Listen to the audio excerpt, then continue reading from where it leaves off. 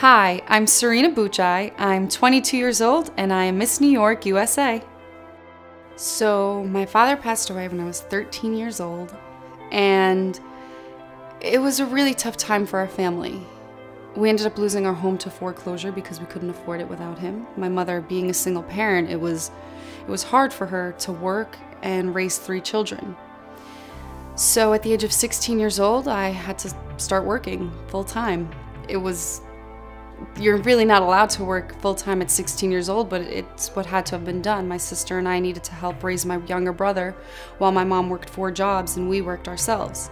I remember going to school sometimes and just pretending that I wasn't hungry because we couldn't afford to eat lunch or simply drink water. So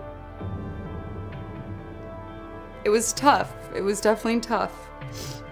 I think a lot of my confidence does come from my mother. She raised her kids to be the best that they can be, and she always put us before herself.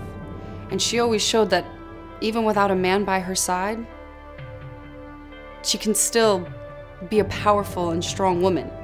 And I think that's where all my confidence comes from is really watching my mom and trying to be like her. I want to tell girls who don't have a lot of self-confidence out there that being Miss USA or Miss New York or any state doesn't mean that you're beautiful on the outside. That's not what, it's not just about looks, it's not superficial.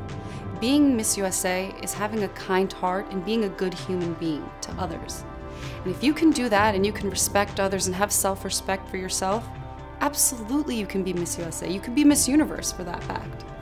Be you. At the end of the day, someone's gonna love you for who you are. Don't try to be anything you're not because it's fake. And being real and true to who you are is the most honest and natural approach to life.